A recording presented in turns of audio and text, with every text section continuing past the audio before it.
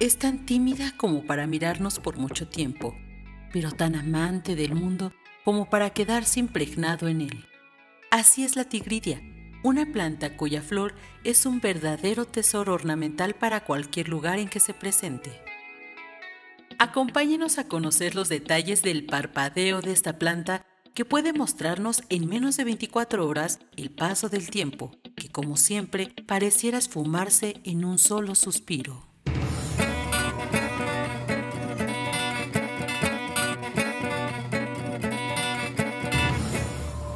La tigridia, también conocida como Celosochitl o flor de tigre, es una planta herbácea anual originaria de México, cuya altura oscila entre los 30 a 80 centímetros. Antes de la llegada de los españoles, ya que era el símbolo de los guerreros ocelot o tigre. Posteriormente, a la llegada de los españoles, Francisco Hernández describe la planta y sus usos. Se usaba dentro de la medicina tradicional y además era comestible.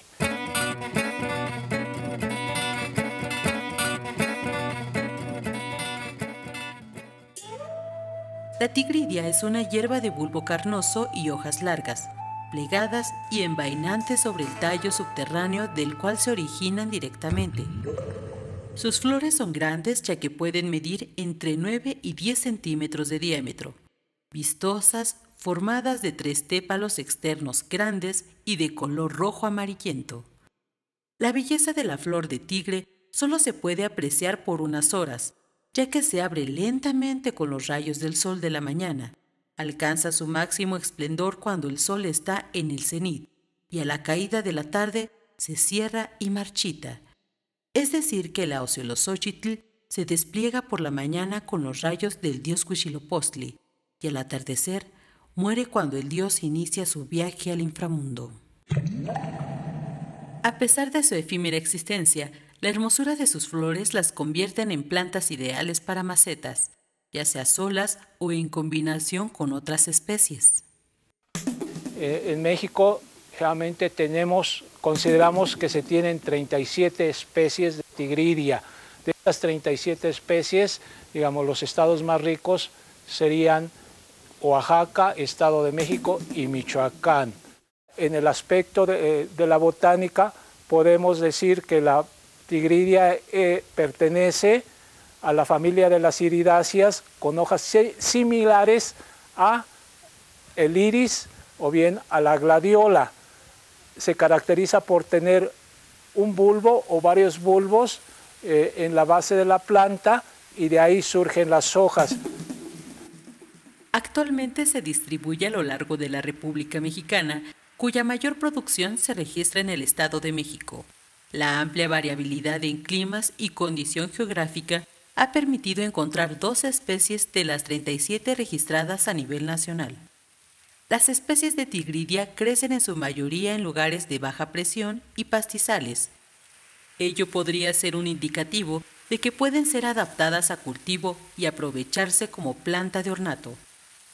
También dentro del bosque, estas especies se desarrollan favorablemente en lugares poco sombreados y expuestos al sol, lo que indica que son plantas que requieren iluminación para desarrollarse, además de humedad y materia orgánica y su principal característica de esta planta es la flor.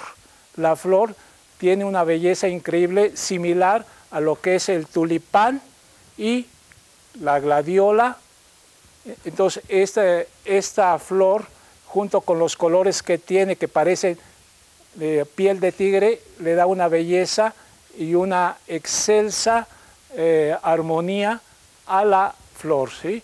Entonces, de ahí que, digamos, nosotros la hemos considerado como una planta de gran potencial para México, para México.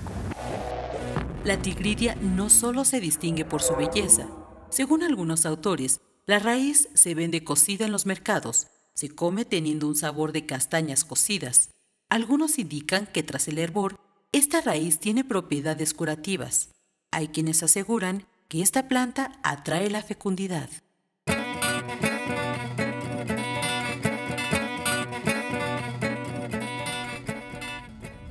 Actualmente el Sistema Nacional de Recursos Fitogenéticos para la Alimentación y la Agricultura, SINAREFI, cuenta con una red especial para el cuidado y estudio de la tigridia. A partir del año 2002 se generan las diferentes redes y en el 2006-2007 se generó la red de tigridia. Actualmente las acciones que estamos realizando es el inventario a nivel nacional y la conservación. Dentro de la conservación tenemos lo que es la conservación in situ, por medio de parcelas o de microparcelas con productores en diferentes partes de la República y eh, junto con la conservación ex situ que es a través de bulbos y semilla. Trabajo que se está presentando como parte de la red de Tigridia a nivel nacional eh, está desarrollándose aquí en el Laboratorio de Biología Molecular Vegetal de la Facultad de Ciencias Agrícolas en la Universidad Autónoma del Estado de México. Considerando la importancia que tiene la especie de Tigridia pavonia como recurso ornamental y recurso fitogenético de nuestro país, es que se ha abordado entonces el trabajar con esta especie.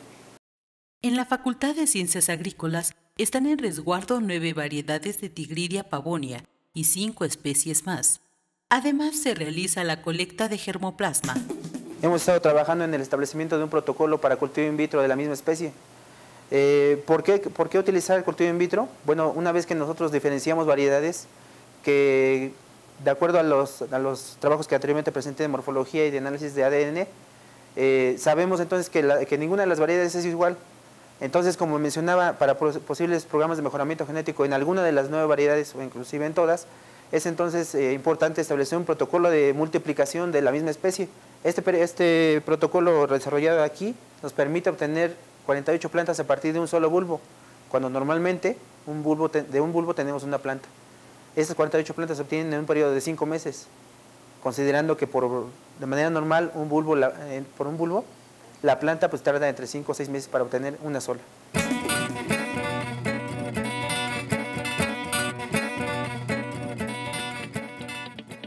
Eh, las acciones que realizamos, además de las anteriores, son la propagación, la conservación y la difusión.